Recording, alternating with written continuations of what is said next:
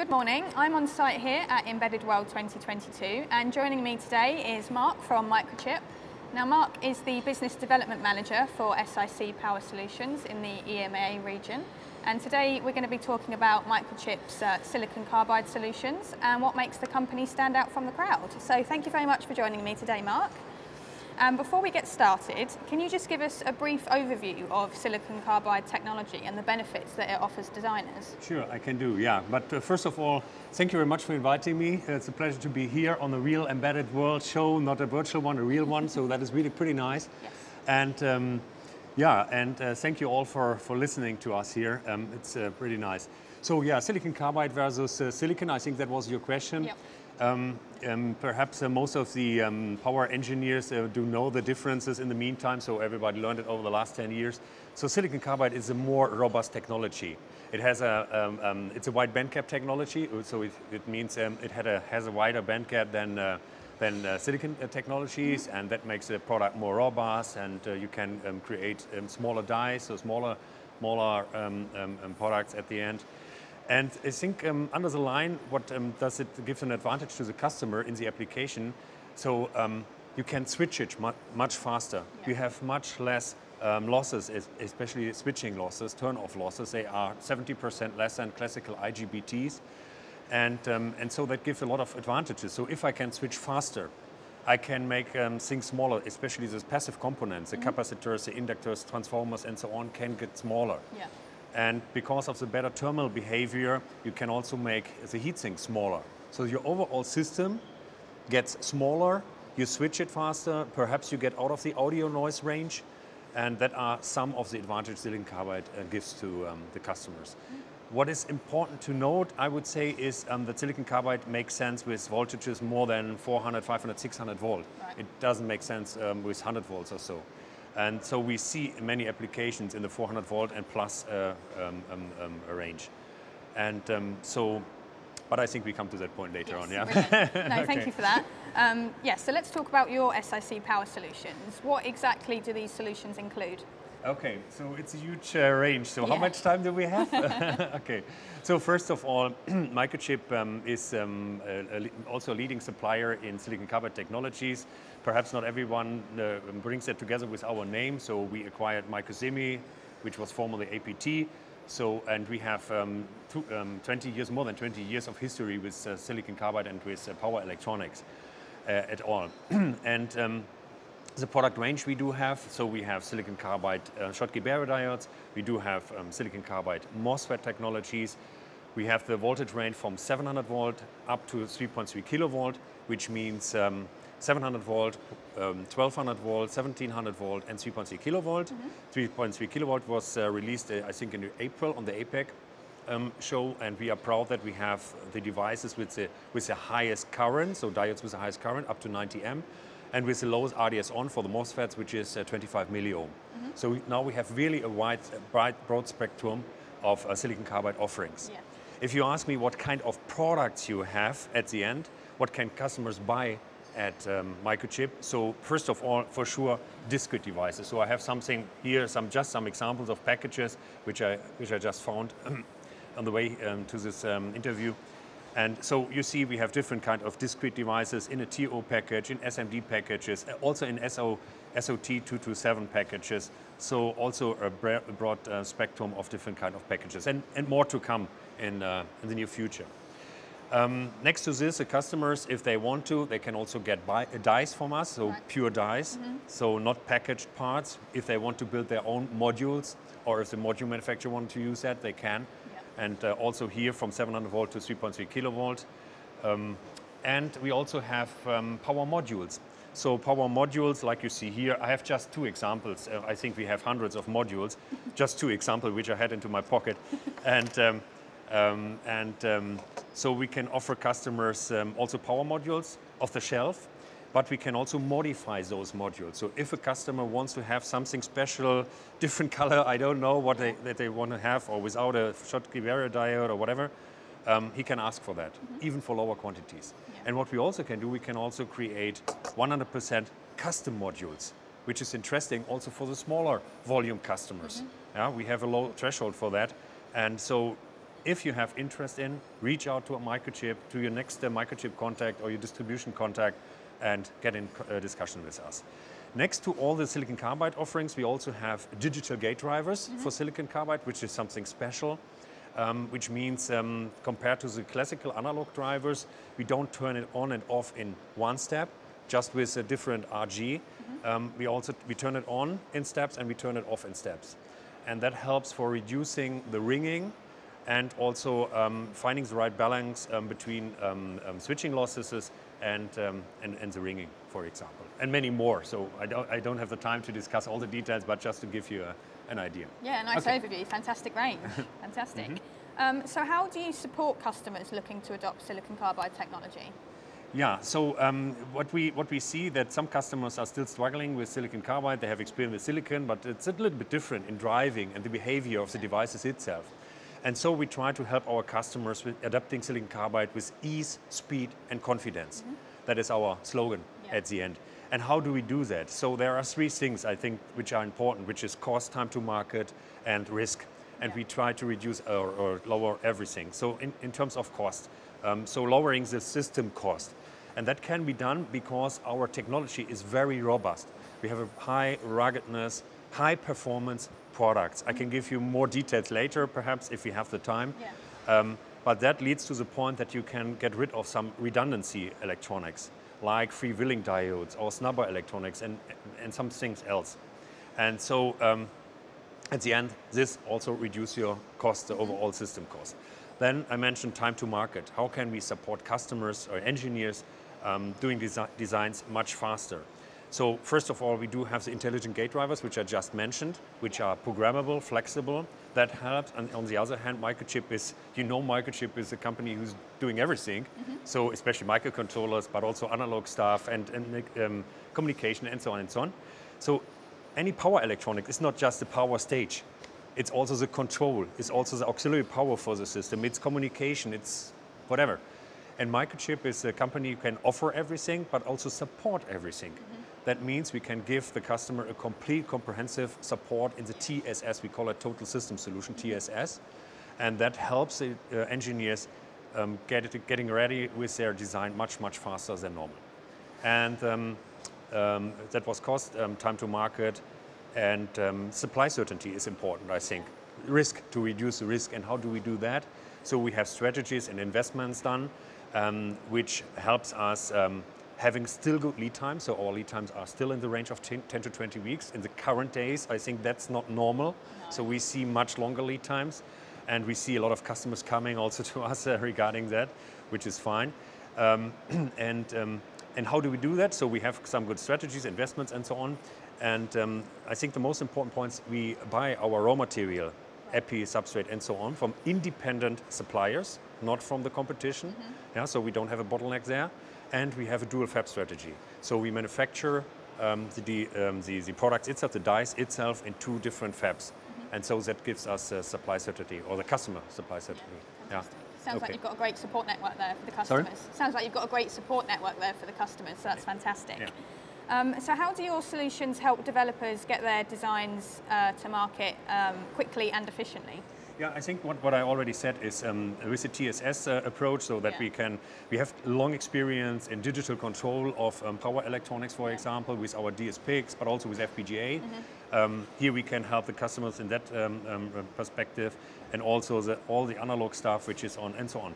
And Microchip is, has something unique compared to many, many other suppliers, which is we are a non-commissioned sales force. That means for you or for the customer, it doesn't matter. So how are the guys yeah. paid? Yeah. But um, as we are non-commissioned um, sales force, we help each other worldwide. Mm -hmm. So if I need an expert from anywhere in the world, I get him, I, I, I, get him for the customer to help the customer. If he has the experience in something and the customer needs that, I can support that. And that makes us also so unique. So we can offer really one-stop shop support at the end for the customers. Fantastic. Um, so can you tell us about the markets that you serve with these solutions? Nearly everywhere. A wide range. it's already a wide range. So perhaps most people think about EV, EV yeah. vehicles, um, which is a huge market for sure. But in the meantime, over the last couple of years, I saw so many different kind of customers, different kind of markets, applications yeah. where silicon carbide is used. Yeah. I think um, I, I, mentioned it in the beginning. So um, silicon carbide is always used when you have more than several hundred volt, 500 volt, whatever, and also a power power level of um, three kilowatt or five kilowatt or even more megawatts. Yeah. And if you do that, if you have any kind of AC to DC, DC to AC, AC to AC, DC to AC, I don't know what I mentioned. so all that kind of conversion, um, um, then um, the silicon carbide makes absolutely sense. As higher the uh, voltage, as better. And if you want to switch fast, also better. Yeah. Um, so um, what kind of markets do we see? so as mentioned, electric vehicle mm -hmm. for mm-hmm. sure but also EV charging, yeah. which is a huge market. So we need the infrastructure yeah. if we decarbonize our world. And um, so um, EV charging is a big market for silicon carbide. Then we have a lot of different industrial applications, industrial heating, welding, laser technologies, all that stuff, uh, power supplies, industrial power supplies. Yeah. Um, there PV market, for example, so renewable energy um, stuff. We see it in railway applications. Um, out of my head, what else? So, so many, there are so many applications.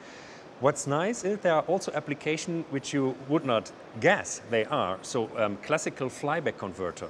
Okay. So a flyback converter converts a high voltage to a very low voltage. Mm -hmm. um, and normally you have that in, uh, in 10 to 100 watt or so.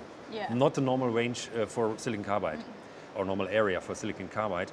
Um, but because of some technical background, I don't want to explain it here. Okay. Um, because of some technical background, if you have a high uh, input voltage, let's say 600 volt plus, um, then it makes absolutely sense to look into um, the high RDS on silicon carbide devices. Mm -hmm. That gives the customer um, a little bit more efficiency. Um, it could be cheaper at the end, but it's also available, especially at Microchip. Huh? Yeah. May I show you this one here? um, and, and so um, it could uh, help a lot of customers, and, and we see customers doing that. Yeah. And what we also see, which is interesting, um, which is not power conversion, but it's more protection. Okay. So um, solid state uh, breakers also, so or e-fuses, some, some call it e-fuses. Um, here, our silicon carbide technology is uh, also perfect for doing that kind mm. of application, and we see a lot of demand in that yeah. too. Excellent. So sorry for a long answer. No, no, don't worry, that's fine. Um, so let's focus on the EV market in particular. Um, so what demands are you seeing from the EV market and, and, how are you looking to support them? Obviously you mentioned sort of the chargers as well, so yeah. you know, what work are you doing in that area? Yeah, um, so the, the demand is huge. Yeah. I can give you numbers if you if you watch uh, that market study or that one, it's a little bit different, all the, but billions of pieces, I don't know. Yeah. So many, many, many. Yeah, so I think that is the biggest market at all. But as I said, industrial is also important and also EV charging, et etc., etc. Um, they are also huge. and um, there is one thing Microchip, I think, um, always tries to consider, even if the market of automotive is very, very huge, and we address that also, we are also in that market yeah. for sure, we still try to find a good balance between the a good old partnership behaving um, industrial customers and all the other customers, smaller mm -hmm. volumes, and on the other side, the automotive guys. Yeah. Um, because um, we don't want to lose our industrial customers. We were um, we, we, grow up with all these smaller, medium-sized customers mm -hmm. over the last 30 years, and we also want to treat them well. So yeah. we find the balance, and therefore, as I said, we have things in place um, which gives us um, gives us the ability to um, fulfill demand in the market. Mm. Yeah. Brilliant. Now you've mentioned it before, but um, Microchip describes itself as a one-stop system shop. So can you explain how this works and again the benefits that it provides? Yeah, so as, as, as I said, um, so we can support the customer in every aspect of the design. Yeah, if it is the uh, if it is the power stage, if it is the driving. Uh, yesterday we did a, a webinar with um, how to drive silicon carbide in the right way and yeah. what kind of challenges they could have and so on and so on. Um, and um, then we um, have the um, digital control. Most of the devices are controlled digitally in, in, the current days because it makes more sense. You can get um, most out of this. And, and so as a digital control, then the analog uh, measurement stuff and the auxiliary power for that and the communication, whatever it is, it, if it is wireless or wired, depends on the application. If it is CAN for automotive, for example, or any kind of Ethernet or single pair Ethernet or whatever it, it could be. Um, so many things we can support from the technical um, standpoint. And as I said, I get the support everywhere from the world if, if that is needed.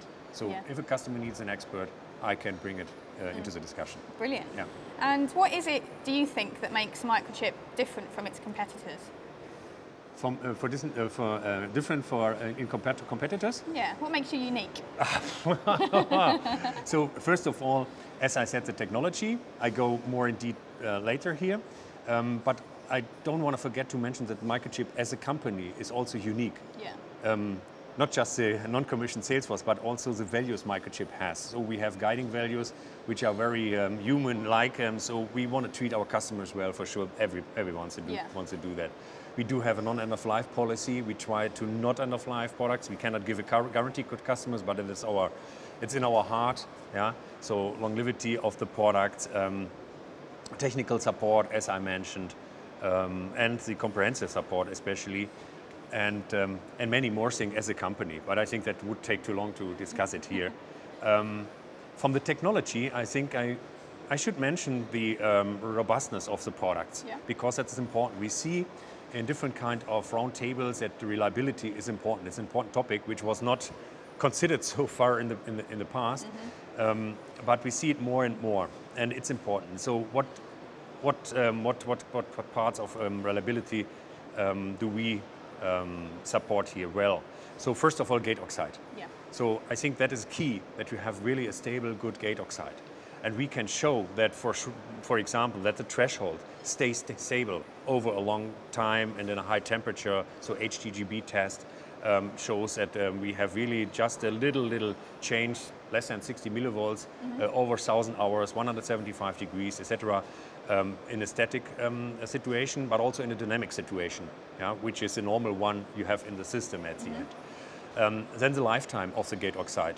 We calculated it. We can't measure it 100% because uh, we don't live 100 years, so I wouldn't see it anymore. Um, but nevertheless, so um, um, there are systems um, to calculate that, and we run uh, in up to 100 years and more, far more than 100 years. Brilliant, That is yeah. something what we can show to the customer. So um, then body diode stability.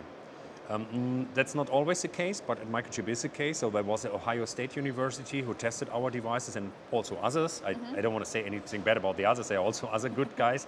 Um, but nevertheless, our technology has most stable body diode technology.